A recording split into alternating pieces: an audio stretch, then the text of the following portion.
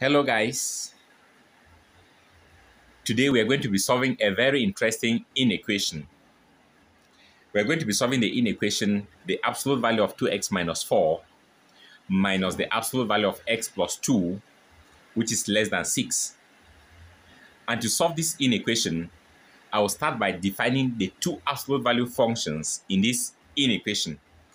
So I will start by defining the absolute value of 2x minus 4. And we know that the absolute value of 2x minus 4 is equal to just 2x minus 4 if 2x minus 4 is greater than or equal to 0 or if x is greater than or equal to 2 or negative 2x minus 4 if 2x minus 4 is less than 0 or if x is less than 2. And I'll also define the absolute value of x plus 2, which is just x plus 2 if x plus 2 is greater than or equal to 0, or if x is greater than or equal to negative 2, or negative into x plus 2 if x plus 2 is less than 0, or if x is less than negative 2. Now, at this level, I'm going to find the intersection of these intervals. I'll look for the intersection of this pair of intervals here. Now, when you look at these first two intervals, x greater than or equal to 2 and x greater than or equal to negative 2, we can easily get the intersection,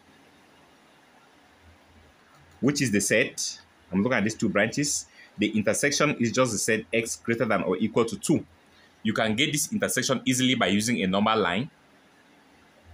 If you take the first branch here and the last branch here, you discover that the intersection is an empty set because you cannot find a value which is greater than or equal to 2 and at the same time less than or equal to negative 2.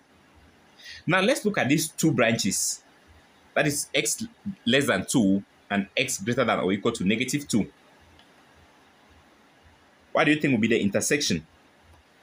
The intersection at this level will just be the set the interval negative 2 less than or equal to x, which is less than 2. And then the last branch, we're going to look at this and this. And if you get the intersection of these two, these two, you are going to obtain the set x less than negative 2. Good. At this level, you can partition the set of real numbers into three. This is what we are going to obtain. That is, if you take the set x such that x is less than negative 2, this one, union the set x such that negative 2 is less than or equal to x, which is less than 2, that is this one, union they said x such that x is greater than or equal to 2, we are going to obtain the set of real numbers. Good. Now, let's call this set A, call this one B, and call this one C. So we're going to find the subset of A, the subset of B, and the subset of C, which satisfy this given inequation. Let's call that subset of AX, the subset of BY, and that of C, let's call it Z. So at the end, if you find X, Y, and Z, we are going to obtain the solution of this inequation by taking the union of these three sets, that is X, Y, and Z. So how do we find X? To find X, we are going to start with the set A. And A says that x is less than negative 2. And we know if x is less than negative 2, look at these two branches. If x is less than negative 2, then the absolute value of 2x minus 4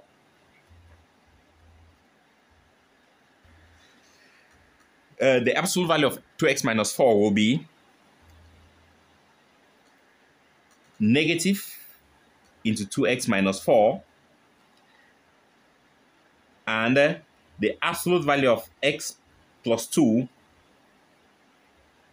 will be negative into x plus 2. Yes, from this interval. You know, if x is less than negative 2, the absolute value of 2x minus 4 will be equal to negative into 2x minus 4. Remember, x less than negative 2 is obtained from these two branches, this branch and this branch. Okay. This will mean that from this inequation, we are going to obtain negative into 2x minus 4 minus negative into x plus 2, which is less than 6. So this implies that negative 2x plus 4 plus x plus 2 will be less than 6. And if you simplify this, you are going to obtain negative x, which is less than 0. And if you divide both sides by negative 1, we're going to have x, which is greater than 0. Now, we are working in the set A in this interval, and this is what we have obtained. So at this level, we must find the intersection of this and this. And clearly, if you use a number line, you will see that the intersection is an empty set. There is no intersection between these two intervals. There's no value of x which is less than negative 2 and at the same time greater than 0. So the set X, our X here is just an empty set. We get to the set B. In B, we know that negative 2 is less than or equal to x, which is less than or, sorry, which is strictly less than 2. And we know that if x lies in this interval, then looking at these branches, looking at this, we know this interval is obtained from this last branch here and the first branch here. So if negative 2 is less than x, which is less than 2, then the absolute value of 2x minus 4 will be equal to negative into 2x minus 4. And the absolute value of x plus 2 will just be x plus 2. Therefore, the above inequation reduces to negative into 2x minus 4 minus x plus 2, which is less than 6. And so this implies that negative 2x plus 4 minus x minus 2 is less than 6. And if you simplify this, we're going to obtain negative 3x which is less than 4. And if you divide both sides by negative 3, we're going to obtain x, which is greater than negative 4 on 3. Good. So remember, we are working in this set. So we are going to find the intersection of this and this in order to obtain our y. Okay, good. And to do that, I will represent these two intervals on the same number line. So I'll start with the first one. So here I have negative 2, and here I have 2. I know negative 4 on 3 is somewhere between 0 and negative 2. So let me represent it somewhere here, and negative 4 on 3. Good. So the first interval starts from negative 2, including negative 2, up to 2.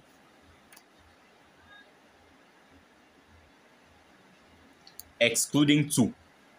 So that is the first interval. And the second interval is this, that is x greater than negative 4 on 3. So it starts from negative 4 upwards, negative 4 on 3 upwards, excluding negative 4 on 3.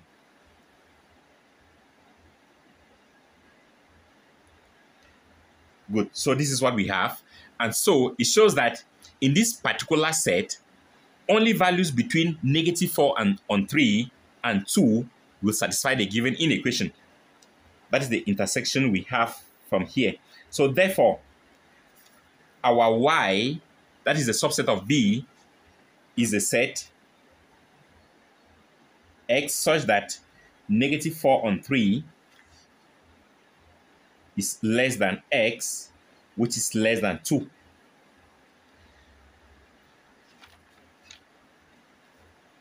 Then we continue with z. To find z, we must start with the set c, which is the interval above 2. So we know if x is greater than or equal to 2, then if x is greater than or equal to 2, then this is what we are going to obtain. The absolute value of 2x minus 4 will just be equal to 2x minus 4.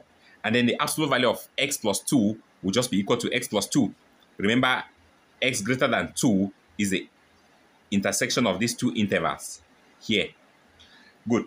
So, we are saying that if x is greater than or equal to 2, then the absolute value of 2x minus 4 will just be equal to 2x minus 4. And uh, the absolute value of x plus 2 will just be equal to x plus 2.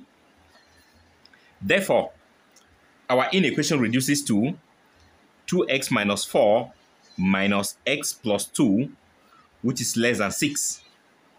And so this implies that 2x minus 4 minus x minus 2 is less than 6. And if you simplify this, you are going to obtain x, which is less than 12. Good. So we are in this particular set, in this set, and this is what we have obtained. So we need to take the intersection of these two to find our z.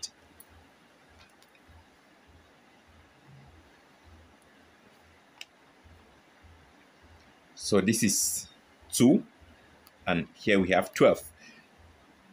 So this is the first set.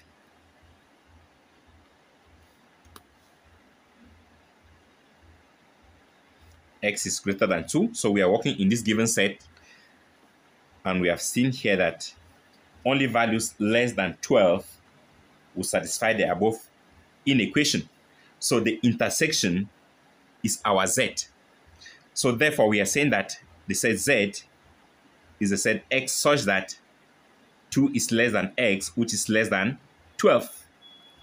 Good. So therefore, if the absolute value of 2x minus 4 minus the absolute value of x plus 2 is less than 6, then the solution set will be given by x union y union z which is the set.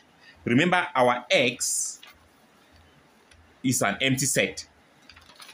So we have the empty set union. The set Y is the set X such that negative 4 and 3 is less than X, which is less than 2. So we have uh, X such that negative 4 on 3 is less than x, which is less than 2. 2 is part of this set. Yes, the intersection of these two sets includes 2. Okay, union, they said x such that 2 is less than or equal to x, which is less than 12. Good. So remember, if you take the set A union an empty set, you are going to obtain only A. And so if you take the union of these three sets, our answer will be the interval from negative 4 on 3 right up to 2 and starting again from 2 including 2 right up to 12. So the, inter the intersection is just the set negative 4 on 3 which is strictly less than x and less than 12. Good. So we are saying that the solution set to this inequation is this set. Good. So you can verify, you can use other methods. There are other methods. You can use the graphical method, and there are other algebraic methods that can be used. Thanks for watching the video, and uh, please do not forget to subscribe to this channel.